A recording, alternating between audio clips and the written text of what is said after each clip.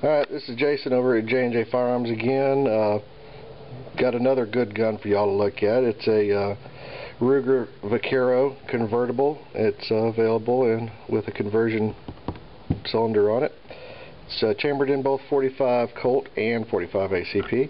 Um, let me get this uh, box open and we'll show it to you. Alright, we've got this thing all open now. As you can see, it comes with a spare cylinder. This cylinder is a 45 ACP cylinder. The 45 Colt cylinder is installed in the gun.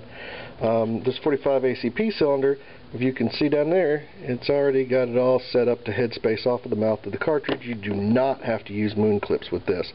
Uh, all you do to change out the cylinder is push this little pin over, little takedown pin, pull the uh, cylinder pin out, open the uh, loading gate, slide the cylinder out to the right side of the gun, um, put the uh, other cylinder in there, close the gate, put the pin back in, and it's ready to go.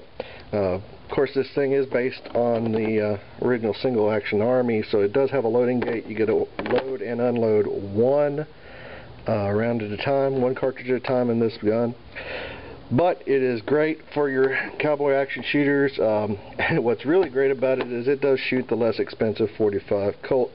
Uh, anybody who's looked at any ammunition prices on 45 Colt will realize that uh, they're not the cheapest round in the world when it comes to you know practicing.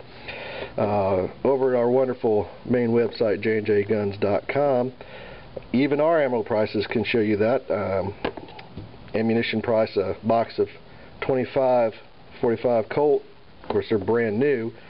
They'll run $25 plus tax and or shipping, but the 45 ACP is considerably less. It's around around $13, 12 or $13 for one uh, box of 50 uh, remanufactured. So you can practice a whole lot more on your 45 ACP than with your 45 Colt.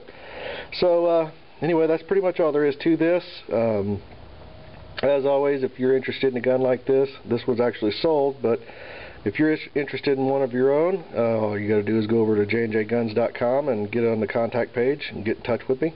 Um, I'll be more than happy to uh, get you another one just like it. Uh, y'all have a good day now. Bye-bye.